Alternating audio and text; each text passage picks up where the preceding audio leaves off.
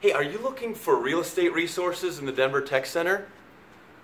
Well, there's a lot of information out there, and you probably only need uh, a narrow slice of it.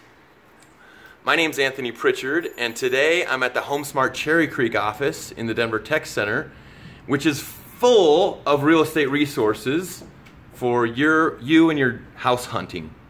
Um, if you'd like to uh, take a look around and just select any one of the realtors in the room, they'd be happy to help you.